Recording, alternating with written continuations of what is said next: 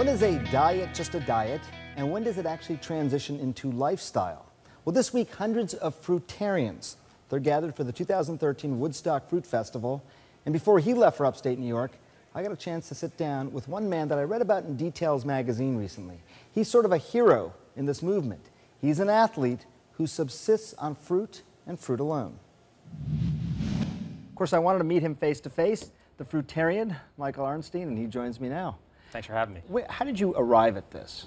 I, I, uh, I'm, a, I'm a runner, marathon runner, and I, I wanted to see how fast I could run a marathon.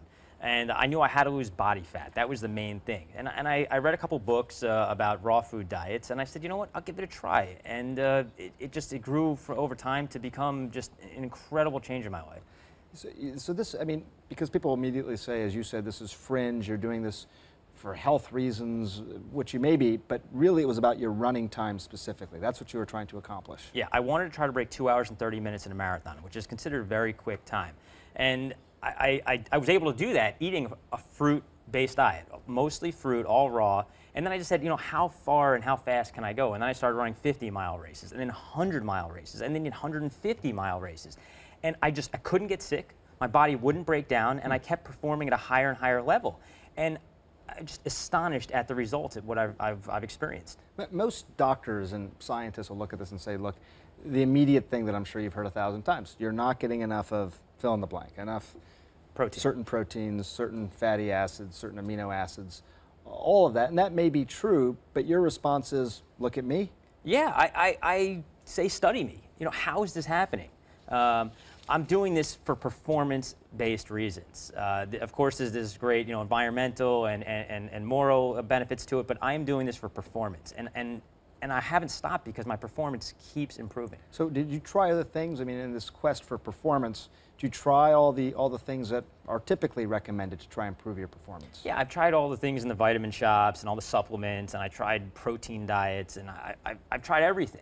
Uh, and, and this, eating nothing but raw fruits and vegetables, primarily fruits, has absolutely transformed me as, as a person. I've become almost superhuman.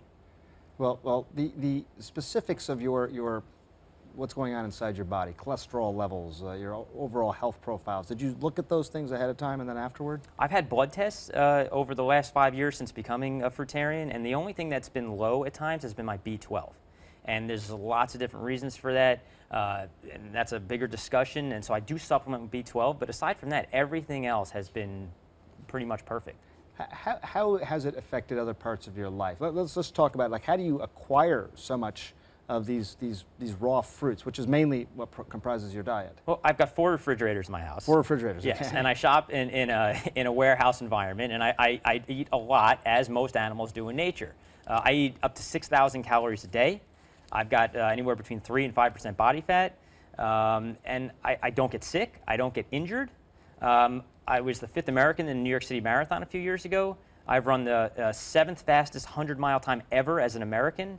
Um, and, and I just, I've got mental clarity. I don't get dry skin. I don't have mucus in my nose. I don't wake up with crust in my eyes. I just, I, my, I don't have earwax. I just, I, I'm alive. I'm absolutely healthy. I'm vibrant. But you, you just the B12, that's the only thing you take. That's it. What did you have for breakfast this morning? Uh, oranges. you About 15 oranges. 15 oranges? Yeah.